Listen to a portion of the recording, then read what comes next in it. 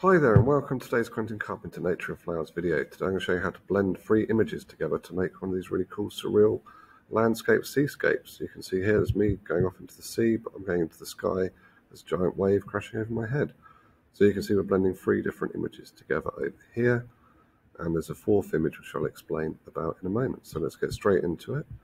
Um, to do this, first of all, you're going to need the three images lined up on Photoshop on different layers. So I've got the wave image here, I've got me walking out into the sea, I've got two versions of that, and I've got a nice sunrise. So first thing we need to do is mask out some of the wave. To do this, we need to be on the black color here, the paintbrush here, and we click on the layer mask here. And then using the paintbrush, we paint over the image so that we get rid of all the things behind it. If I close the picture to the eyes, you can see that we're blanking it out, so it goes blank.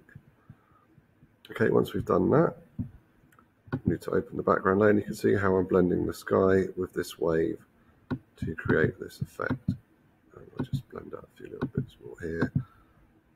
So carefully clicking the mouse where I want to blend it. A little bit more in there, so you can see the, the sky and the wave almost become the same thing. Okay, that's the background and the foreground. Now I need to get the picture of the person wading out into the sea. And to do this, on this layer, I'm going to select the subject of the picture rather than drawing around it. Photoshop will work out where the area of the picture that I want to keep is. Once it has done that, it will take a few moments. You can see we've got a flashing line here.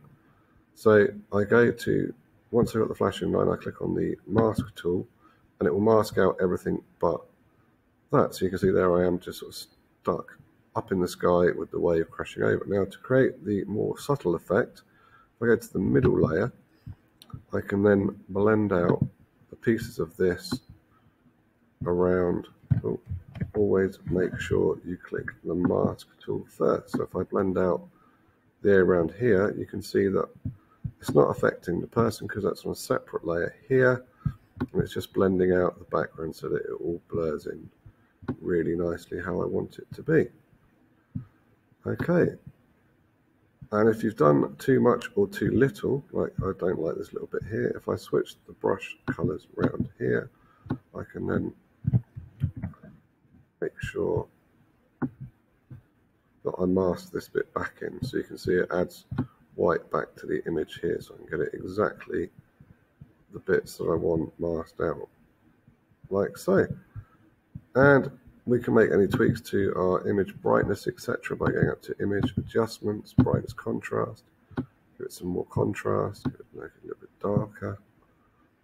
Click OK. I can change the hue of the image as well. So on this layer, I want to change the layer of the image. So go to adjustments and hue saturation. I can just change the hue slightly saturate it a little bit more to make it a little bit more blended in so I could change the colors to suit the image. So there you go, that's how to blend three images together using layer masks in Photoshop to get these really effective surreal landscapes. Okay, enjoy making your own and if you've enjoyed today's video be sure to pop over and hit that subscribe button and tick the notification bell. Thank you very much for watching and goodbye.